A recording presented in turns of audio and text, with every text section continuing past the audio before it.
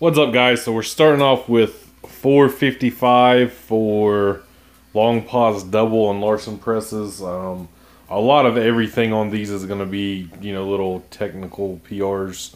Uh, same with my overhead press. I think uh, top set on overhead press on the primary OHP day was 275 for five, and they were all, you know, resets uh, starting at the the clavicle, etc. Uh, which you know technical PR there too. I think seven's my best with 275, just kind of going like a touch and go type thing. And uh, man, the stretch reflex on overhead press is really uh, to take a video game term OP. Um, it's you know you get so much more. Like anytime I'm doing uh, overhead presses, like rep number two always feels better than rep number one uh, because rep number two, you know, has that stretch reflex. Uh, you know, when you're doing like the touch and go, just banging them out over and over.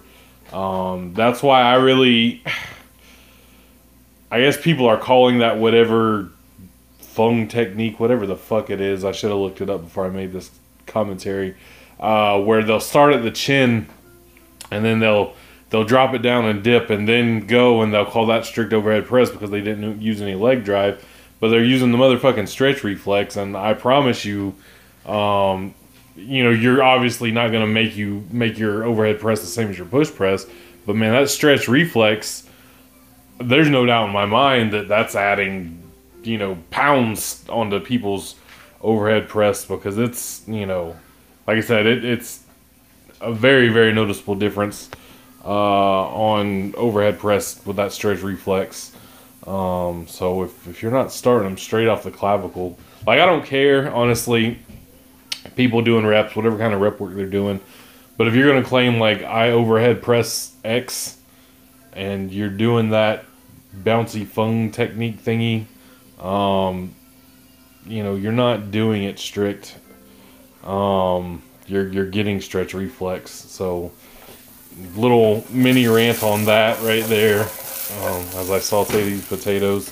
Um, but otherwise, you know, training, upper body's going fine. My knee's feeling good. We're just not even going to worry about it because I don't want to be tempted to squat or anything. We're just going to keep going that direction. Um, I did on my my cat sets this week. I kind of dropped the weight. Um, I dropped the weight on my top sets as well, um, and just did higher reps and stuff. I really wasn't feeling it, and that's how this this whole training block is gonna go. It's gonna be me working up to a top set.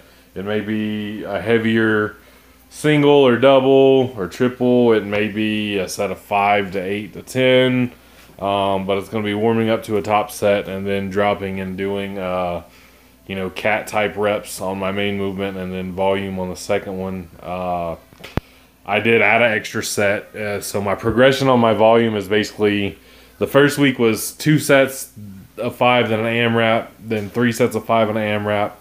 Um, unfortunately, I derped on the filming on my overhead day, but I did get 10 on my AMRAP again.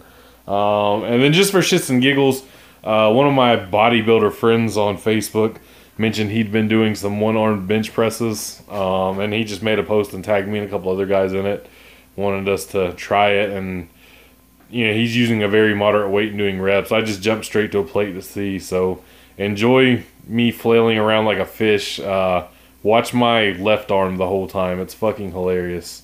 Peace